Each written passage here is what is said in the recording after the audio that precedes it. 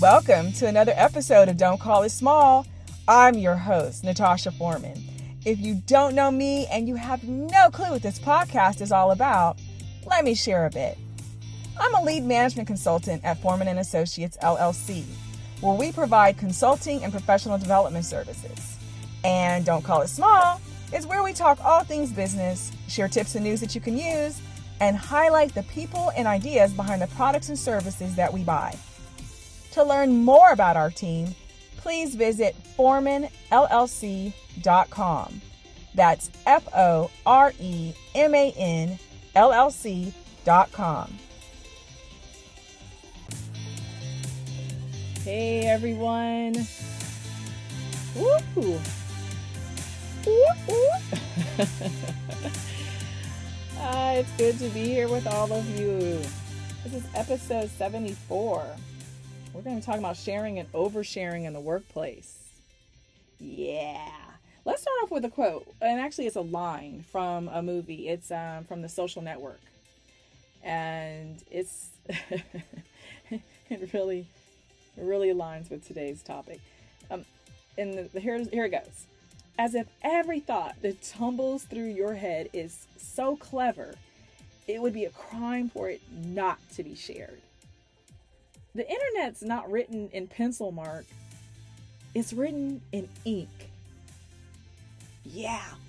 That's how it is when we just put everything uh, and just vomit everything out on social media and different online forums and ah, yes. But let's let's see where we do it a lot and and we don't realize that it has the same impact and um, sometimes we can have the negative consequences come to us much sooner the workplace. Let's talk about the workplace.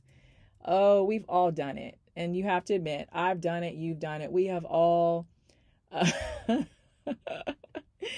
had that moment of, like, what in the world was I thinking? Um, and you end up sharing something and you have that foot in the mouth uh, situation. Yeah, we've done it. Uh, I've done it on this podcast. And I'm like, oops. I forget I'm not up here just talking to one of my my pals.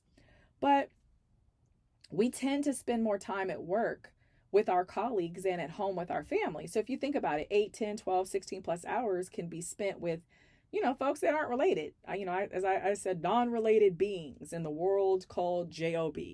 Uh, you probably only see and actively engage with your household members for two to six hours in a given day the rest of your day is spent eating, sleeping, and doing whatever you do in the restroom. Like, you know, you could be bathing, shaving, praying. Some of y'all are getting all, you know, glammed up, or you could be hiding in there. And don't act like some of you. don't try to lock yourselves in the bathroom to hide and pretend like you aren't in there. So, you know, I get it. You're away from from home 8 to 16 plus hours. You spend how, you know, 2 to 6 hours maybe, maybe with family the rest of your time is you're sleeping and doing this whatever you're hiding away doing in the bathroom. And the natural inclination, of course, for us is to share, to commune, connect, to bond with others. You know, we are social beings, we're social creatures. And the more time you spend with people, the more you share and the more you learn about them and they learn about you. Um, and you start to grow comfortable around them. And in many instances, they are your extended, you know, morph family, your work family. And friendships grow and blossom, and oftentimes from planted seeds nurtured in the workplace, these gardens that we call offices and cubicles and conference rooms and break rooms. And and I get it. Um, you know, some of the friends that I've had have come from um, the workplace. I have I have friends that were I, I met through my mom's, you know, place of employment, and I, I get it. You know, we we we form that. But we have to still remind ourselves that when we're in our place of employment, there are boundaries, or there should be, right? And and what you say, what I say to our friends, our personal private friends that we, you know, we grew up with, we went to, you know, school with, that isn't always appropriate for the workplace. What you would share in the confidence, of, you know, of, with, with your with your bestie, isn't necessarily something that you need to be sharing with your workplace comrade I mean, you can share stuff at the barbershop and in the beauty salon and the nail salon that you should not be sharing in the workplace. And those blurred lines are getting folks caught up in some crazy webs that are making it very difficult to untangle. Or we just get discarded, right? We're terminated from our jobs because of it. Social media is making it worse, right? It's adding fuel to a barbecue pit that doesn't need anyone fanning those flames. And many companies haven't addressed with great detail the sharing of information on social media. So you know they haven't addressed what's shared in general, you know, conversations in the workplace. They'll focus on intellectual property and ensuring that information is not shared publicly by employees and um, employers and managers should be mindful, though, of addressing what topics and contextual details should be limited or completely off limits at work. There has to be an, a major, uh, you know, um, look and addressing of these things. Because if someone violates it and you're like it's not in writing it's not in it's not it has not been written it's not been shared then it's not a violation i mean it, it's a violation of common sense but it's not a violation of any written policy and you know as we shared in previous episodes about um, those in workplace inconsistencies and the things that you need to have those are the things you need to have. You need to make sure that you have that addressed, right? I think I did that in episode um, 69. Let me flip and see. Um, oh, 67. Episode 67. You know, talked about those workplace inconsistencies. The the policies and, and something like this specifically should be addressed in writing. Needs to be shared broadly and frequently throughout the year, every year, right? Um, and really quick because I know that there's always someone. It never fails. It's like, you know, we've got people that troll certain topics. I'm going to address First Amendment rights. And I'm going to go ahead and bring in the context and history and the whole nine. We're going to wrap this up in a nice bow. So let's address this now because there are folks who just don't seem to understand what these rights mean and how they're applied and, and how your place of employment is exempt. I mean, just in many ways, depending on where you work. Unless it's the federal government, state government, it's exempt. So, really quick First Amendment employment and First Amendment rights, excuse me, First Amendment rights, um, it, it protects you from censorship and silencing by the government, by your government. And, and at that time, we were dealing with the federal government, right? Uh, when and if you choose to speak out about something you don't agree with politically, for instance, something that they've done, something that you don't agree with. Now let's go back to why this amendment, because it's an amendment. It was not. It was not an, uh, the the founding principle. it was something that was added in. Let, let's go back into why. Let's let's go back in time. When we, the United States, which was America at the time, when we were under British rule, we had a king. And if you spoke negatively about the king, if you refused to comply with his orders, you would be punished. That could be jail, flogging, or you could be hanged or whatever. When we declared our independence, well, let me clear that up.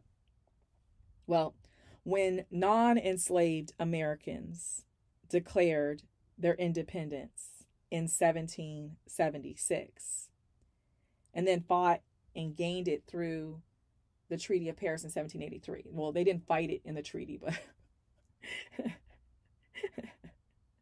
and I'm gonna talk about when they fought. But uh, you have to understand that not all of the leading nations recognized America's declaration. When when they declared in 1776, not all these other nations recognized that. It wasn't until 1781 through 1783. Now, the Re- American Revolution, the fighting, was from 1775 until 1783. We started fighting then we declared our independence a year later. But it wasn't until 1783 when we then, you know, sat down and, and had the treaty in Paris that, that, that this was actually made so. During that revolution, though, from 1775 through 83, you still had British soldiers and officials who were still punishing regular Joe and Jane for treason against the crown, against the king, for speaking their minds, for having an opinion that differed the king's.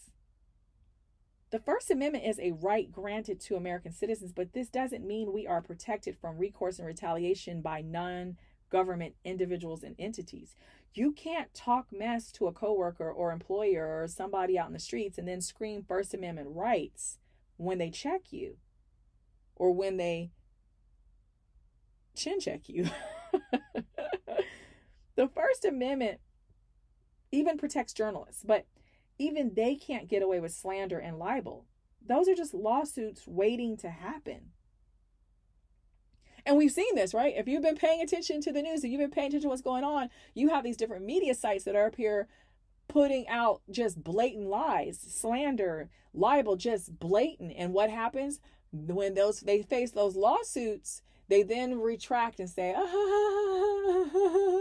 they're not screaming First Amendment. No, no, no, no, no. So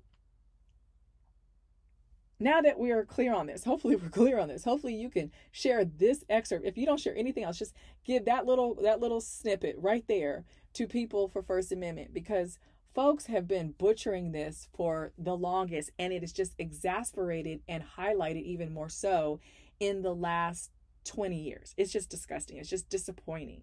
It just it really is. I sit back and I'm wondering what were y'all learning in school? Really? Seriously. All right. So, um, I, you know, I think this is like the third time in four seasons that I've had to address the First Amendment. I think this one is probably the most succinct, and I brought in the historical context. So hopefully, I've now checked all those boxes. Now let's look at TMI in the workplace. All right. So that and, and, and now you know what you can't talk about your First Amendment rights about. So let's look at this. Um, health problems. You or your loved ones and and people are like what? But I, I want you to really think about this. Limit what you share. Some people share way too much and you give too many details. There's certain things that just you don't need to go so so detailed about. Like you're not writing a book. This is this is this is not going into a uh, an academic journal of you know for the sciences discussing incontinence and bowel obstruction and sperm and egg count and the quality of sperm and egg and erectile dysfunction and STIs and that your boyfriend or girlfriend gave you an STI. All of those are off limits. They're all TMI. Stop. As I said, if it's not tied to some type of academic journal entry or tied to research for an article, project, campaign you're working on, this is not the the core of what your the business that you're working in is focused on, stop. Zip your lips. Stop. It's not the place. Not the place, not the place, not the place, not the time. Not the time, not the place. At all.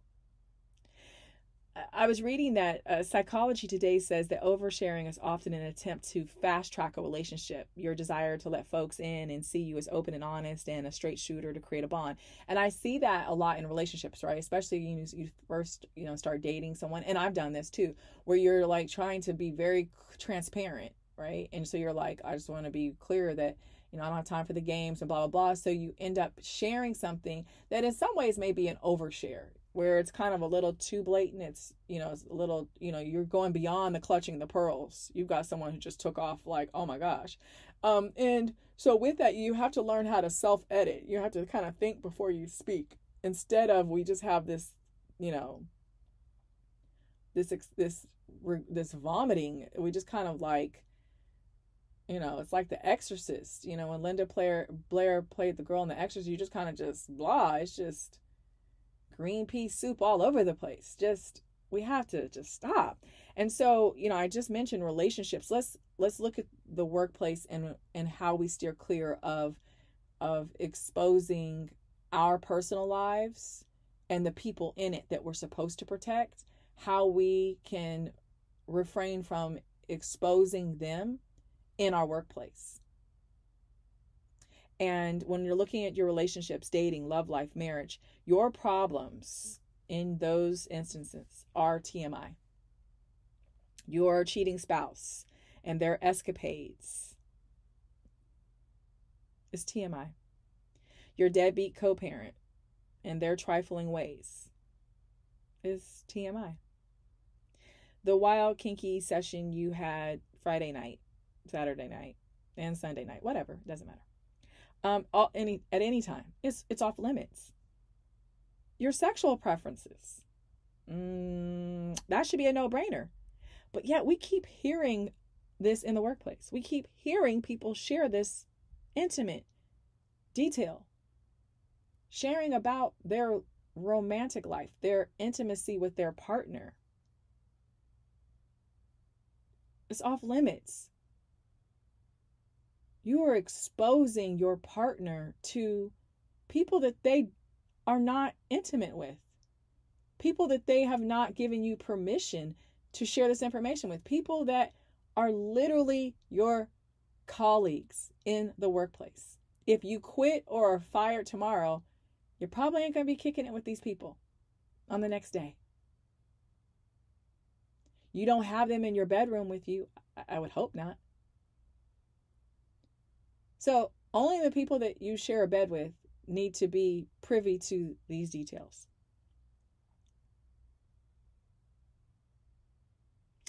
When you tiptoe, belly flop, or dive into the sex waters, because that's what I'm to call them, you are like, you know, one stroke, one cannonball, one whatever away from a meeting with HR or the legal department.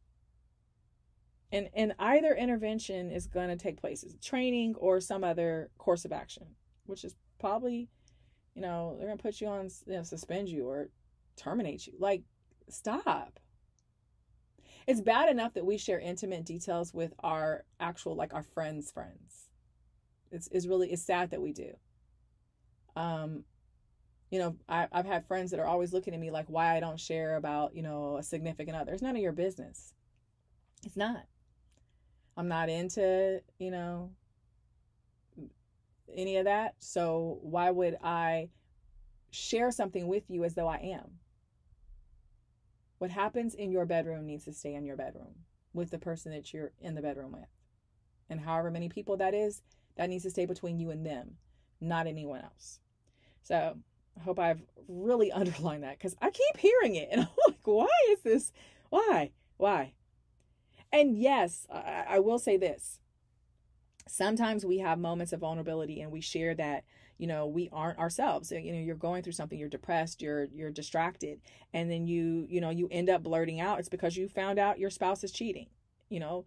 You're crying inside and you want to cry outward. You want you know you want you you just want to be embraced and told that you're okay that it'll be okay. And i get it but you also need to remind yourself that you're at work and sometimes those lines can be blurred and someone's good intentions can be blurred. And that's how you end up with some twistedness up in the workplace. This also happens when we talk about money in the workplace. Now, I do know that we're dealing with, and we have been dealing with since for decades, the um, the pay inequity in the workplace, pay inequity between men and women, pay inequity amongst the various ethnic groups um, within our workplaces, pay inequity. I get all the different ways. We can check all of the different demographic bar- boxes in which we are facing this. And so, yes, I understand addressing matters that way um, and directly with management. And, you know, but let's look at the other nuances that bleed in, that flood, that suffocate, choke out, um, and cause a lot of disruption in the workplace when we're talking about money. Really, our focus should be this. Um, unless someone wants to know how much you paid for that new tech gadget you're proudly showing off, or how much something cost at whatever store, XYZ store, you really should steer clear as much as possible from talking about money you know how much your mortgage is your car payments are that inheritance that aunt susie is leaving you or your spouse. Understand this you never know who's listening who's plotting and planning and scheming. It's just it's it's a risky slope that you're skiing on. It is it is. It is. Not everyone just because you see you know this isn't this isn't preschool. Everyone's not your friend. That's my friend. That's my friend no, not everyone's your friend. Even people that you call your friend and they calls you a friend, they're not your friend. So stop, stop, stop, stop. This is where we go into the other mud cesspool of politics and religion. Oh gosh. if you can't be neutral and respectful, just leave it for after work, before work, but just not at work. People turn rabid over these two arenas. I mean, since biblical times, I mean, and before biblical times, it's, it's not going to change. It's not going to get better unless you're part of an ERG or other group that's, you know, formed to deal with and address issues and concerns and needs of workers where politics and religion need to be addressed respectfully, then just shut it down. Just don't take part in. Just ah, when you see it's about to go into the red zone, ah, no. I mean, heck, you can't even talk about religion around folks of your same, you know, group, your same denomination. People start acting like they're like in gangs. Like like the visual I have is, you know, they're rolling up real slow, creeping the window down in the car. they're yelling out the window, "Yo, fool, what set you claim?" I mean, you don't know if you're going to get blasted on for saying the wrong answer. That is how people are when it comes to religion and politics. So tread lightly with these two behemoths in the workplace. Okay? Um we another one which you know whether you're doing it directly or indirectly um your job hunting if you're about to bounce from your job or you're thinking about it the only persons who need to know this is management, primarily, right? You can tell management. Um, so you can work with them to get your replacement. Once management is clear and there and now it's being told with the team so that everyone's working together, that's a whole nother ball of wax. Okay? Because you're all working and you're working with them because you love that you love the company, you love the team, everything, but you're you're leaving for whatever reason you're leaving for for growth development because you're you know moving to another state another country whatever or you're just choosing that i don't want to work anymore. But you're working with management for that. That is different because at that point you're honoring and respecting them and the relationship you have with them and then they're helping to um, you know convey what's going to be taking place together with you if you plan on leaving without helping in that area you're just going to abandon ship, then keep your mouth completely shut. Don't tell a soul in your workplace. Don't don't. You know, you're just being you're you're being petty. You're trying to stir up something. Because you already know that people don't keep secrets. People talk. You're being messy. So that also underlines and reiterates don't use your work computer to search for jobs, apply to jobs, to draft or edit your resume, to reply to job inquiries. Nothing, nada. Do that on your own time, on your own devices, offsite. And we talked about that in episode 72. If you haven't heard episode 72, please listen to it. If you know someone that needs to listen to episode 72, please send it to them. It's just, it's just messy. Messy, petty, childish drama. Stop it. Just and that can lead to and that could be because of the next issue, which is negative feelings about work, your job, management, colleagues. Sometimes we have a tendency of letting people know that we're about to bounce because we have these negative feelings. There's a saying that the one who talks about someone to you is the one who will talk about you to someone else. And we've heard it in different, you know, variations. I, I, I like to think that, and, and this is what I, I like giving visualization. So the way I, I look at it is that some friends are like leaves, they blow away with a gust of wind. Okay? They're leaves, folks. And so are some of the many of your coworkers. They will run their mouths like a grapevine and blow from your team right over to someone else's, especially if they are in ladder climbing and title chasing mode. Just, yeah. Don't. they'll turn around and say, Well, Natasha said, and you're like, Whoa, I said that to you in confidence. Did you? Did you? I'm not your therapist. I'm not your psychologist, your psychiatrist, your counselor. Really? Hmm. I'm not your significant other. We don't live together. They are leaves. The wind blew, they went with the wind.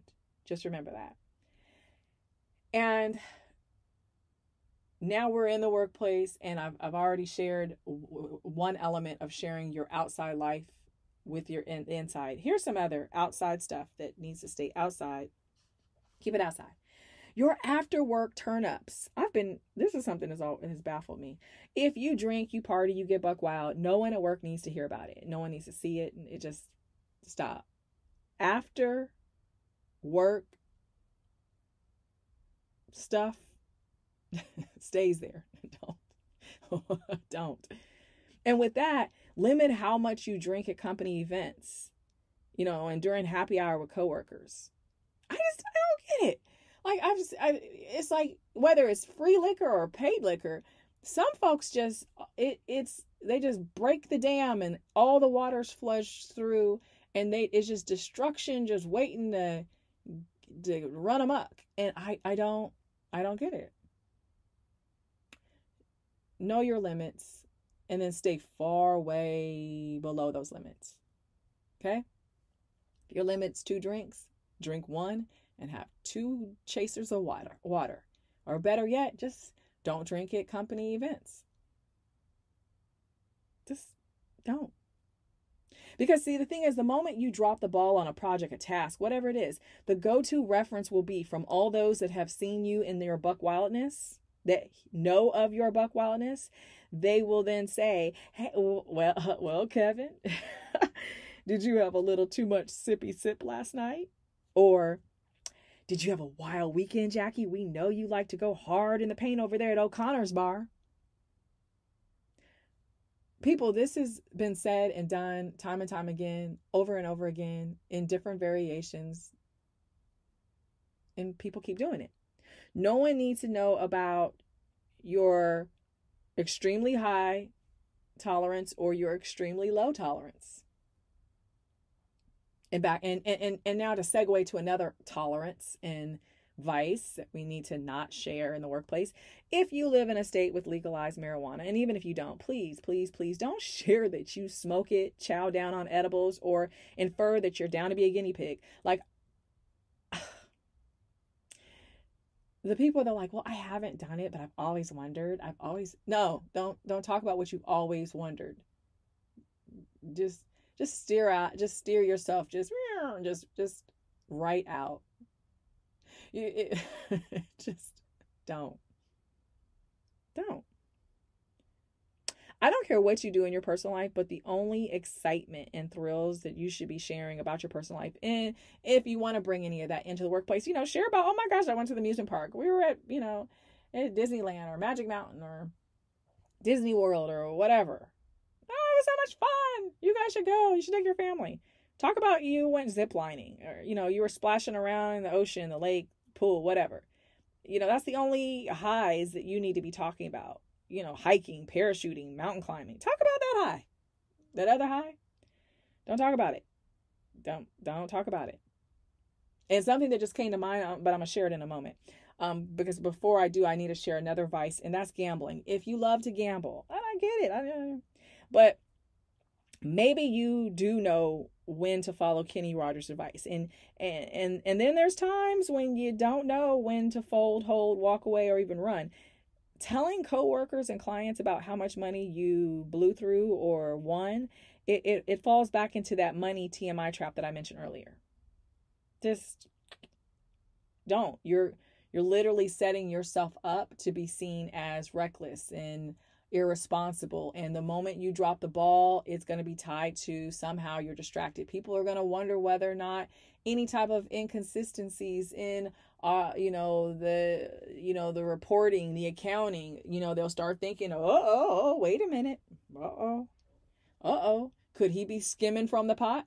Trust me it has happened. It will continue to happen especially when your gambling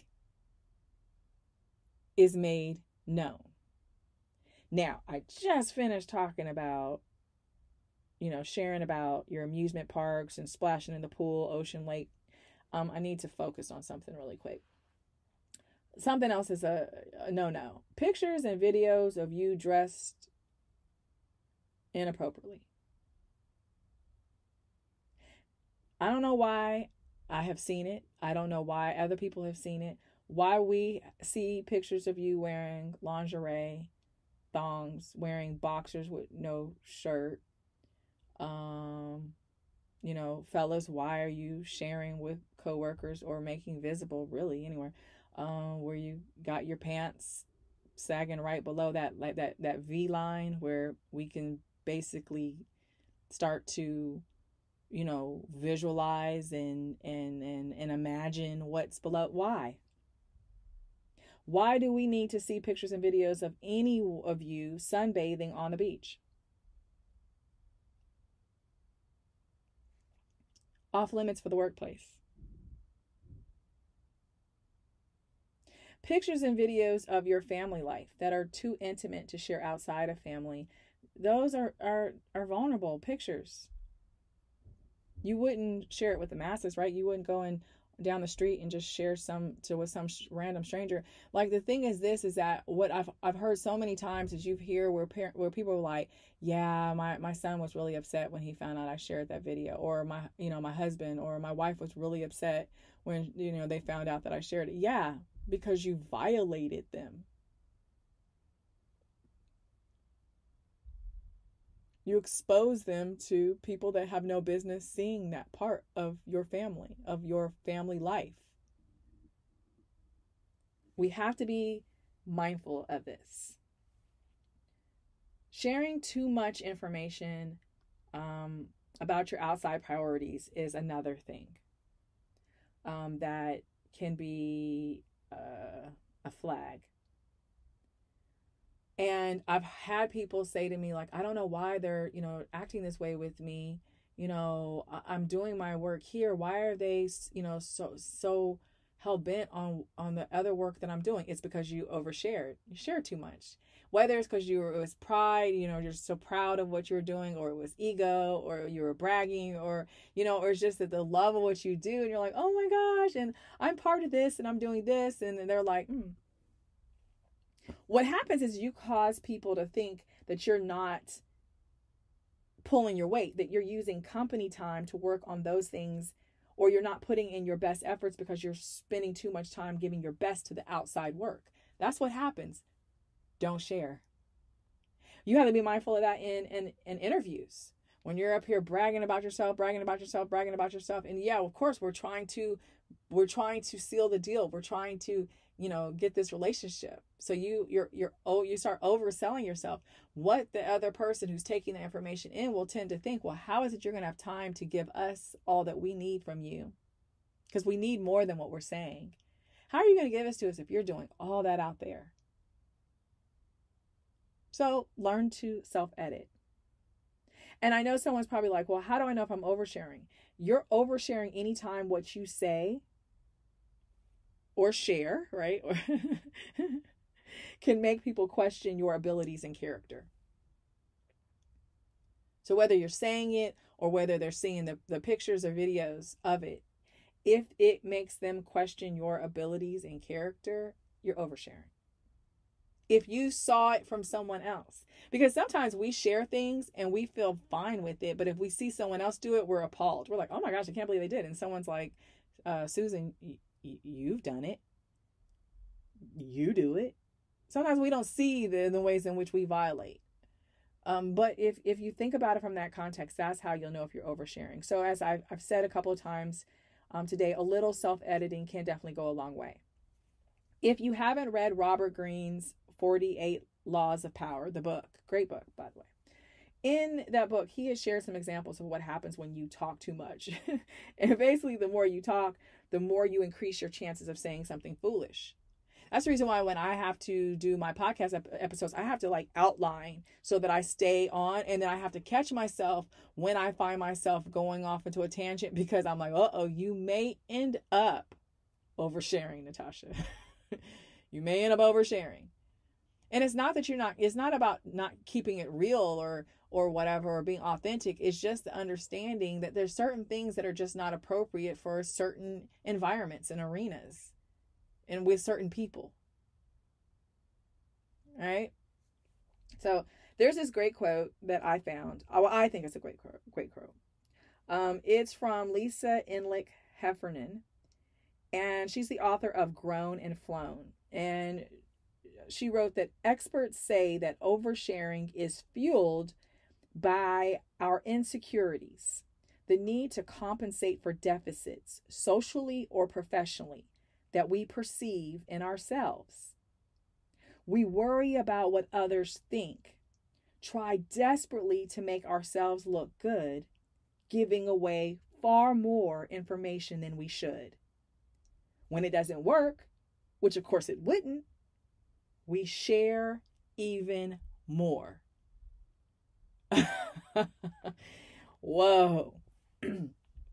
I mean, so many of us have done it. We, you know, it's just like you just end up doing it. And I think it ties back to what I had stated earlier about that that desire to bond and to um, be accepted and included, right? We kind of do that. So let's pivot. Time to pivot. It's time to do some shout outs. Yes. Let's shout out. Let's shout out some folks. I got um, three professional street companies I want to shout out. The first and foremost, you know, I got to throw some food in there. Craft by Smoke and Fire. Now, I'm now a vegetarian for the past couple of years, but I'm, I'm not going to lie. when I see the, the pictures and videos of their food, um, it's so tempting. It, it, it hurts. It really hurts. Um, they do have things, they do have food there that I can eat but I'm talking, I'm referring right now just to the meat. They make Texas style barbecue, um, and and they have locally sourced prime steak. Their meats are 100% halal. They have craft cocktails, live entertainment. They're in California. They're in, um, matter of fact, their main location is in Anaheim at 195 West Center Street Promenade in the city of Anaheim. They're now open in Arcadia and they're going to be coming soon to Pasadena. I need you guys to go to craftbysmokeandfire.com.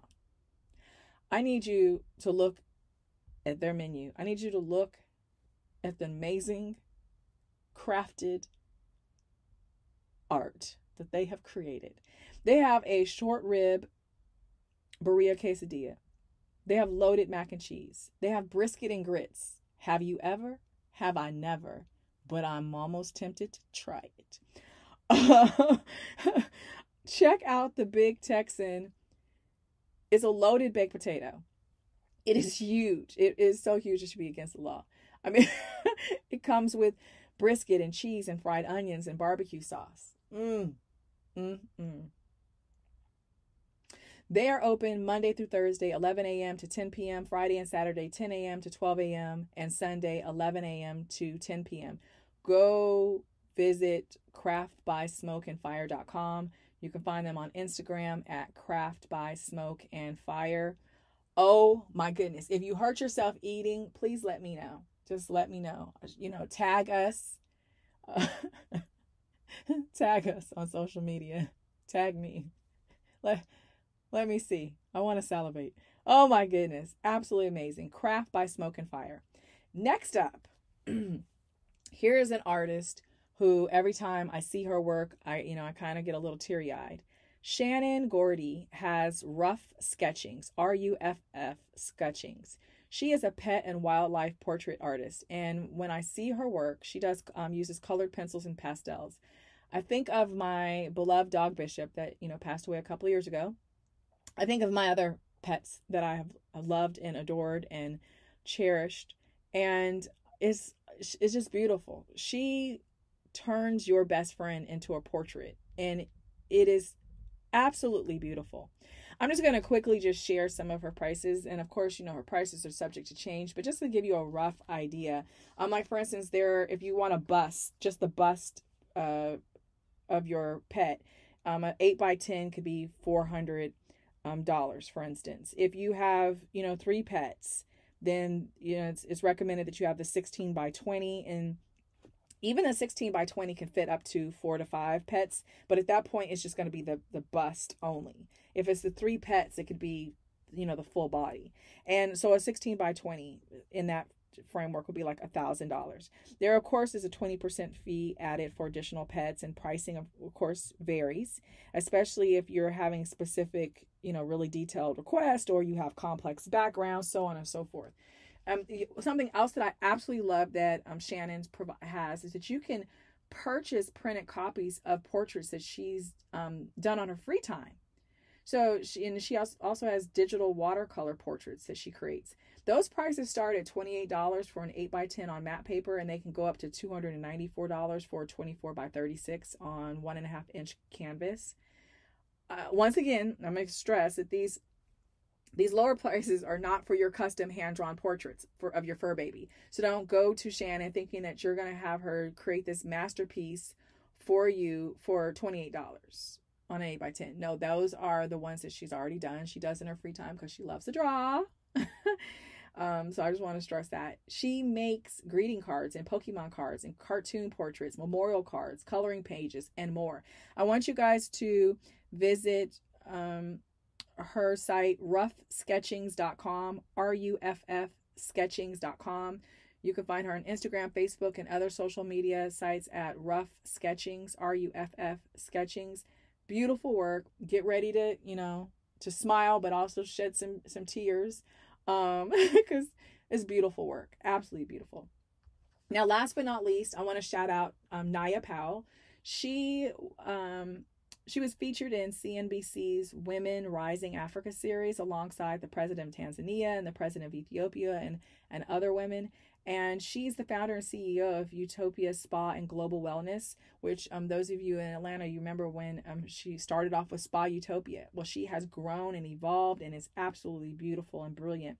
She and her team have developed a platform that provides virtual, live, and on demand multicultural wellness experiences and international luxury re- retreats awesome.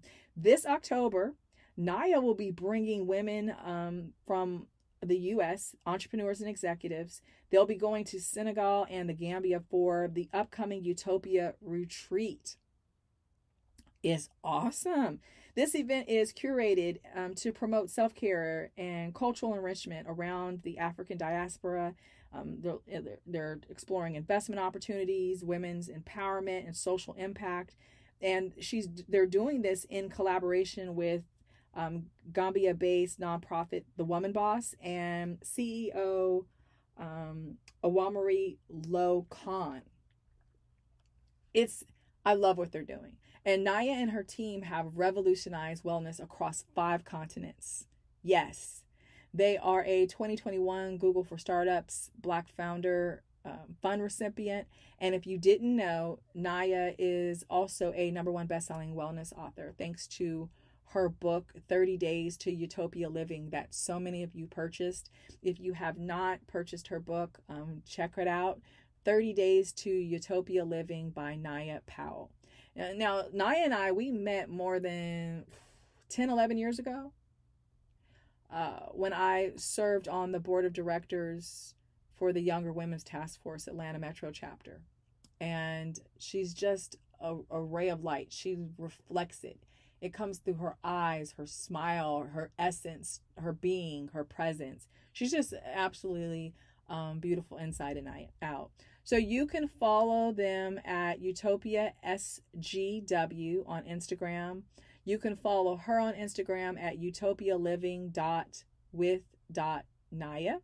She's on LinkedIn, so you can find her at Naya Fila Powell. Check out their apparel collection. They have uh, free self care guides. Visit utopialivingretreats.com. And um, if, if those of you that want to start typing on the phone to give them a call, yeah, dial 1 844 SPA UTOP. That's 1 8 44 772 8867. Excuse me.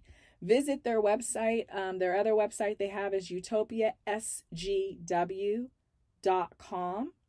and explore their memberships and their workshops um, and their classes. I want to make sure I said again on Instagram, Utopia SGW, and um, you can find Naya at Utopia Living dot with dot Naya on Instagram. Yes, I just, oh, these are amazing companies. I hope you guys are supporting them fully. Um, show some love, please, please, please, please. So, uh oh, there we go. Wow, that's zoomed by. It's that time again. You guys know what that music is. It's time to wrap up and go our separate ways until next week. If you have questions or suggestions about this show, please email them to us at don't call it small biz with a z at gmail.com. I have a quote that I want to share.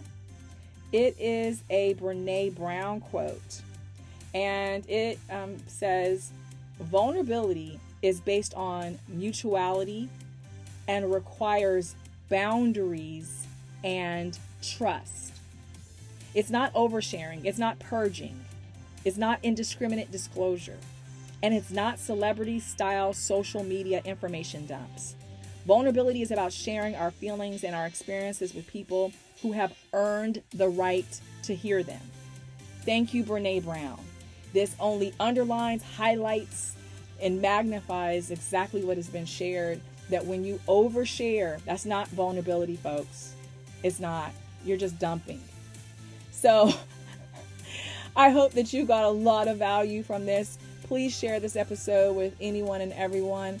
I appreciate all of you for your love and support so very much. Thank you. With that, be sure to check us out on Facebook at Foreman and Associates and on Instagram and Twitter at Foreman LLC.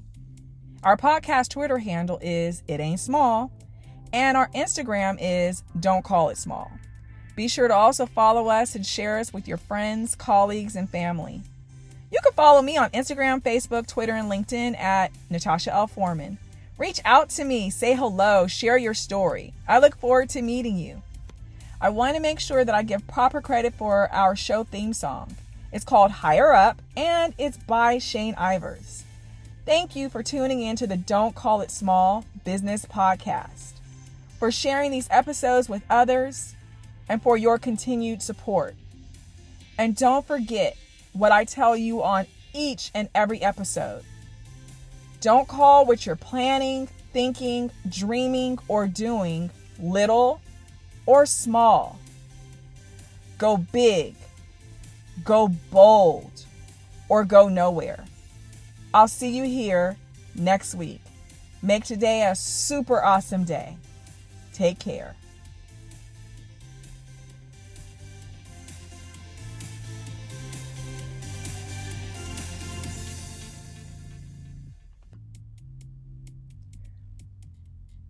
With that, be sure to check us out on Facebook at Foreman and Associates and on Instagram and Twitter at Foreman LLC. Our podcast Twitter handle is It Ain't Small, and our Instagram is Don't Call It Small. Be sure to also follow us and share us with your friends, colleagues, and family. You can follow me on Instagram, Facebook, Twitter, and LinkedIn at Natasha L. Foreman. Reach out to me, say hello, share your story. I look forward to meeting you. I want to make sure that I give proper credit for our show theme song. It's called Higher Up and it's by Shane Ivers. Thank you for tuning in to the Don't Call It Small Business Podcast, for sharing these episodes with others and for your continued support.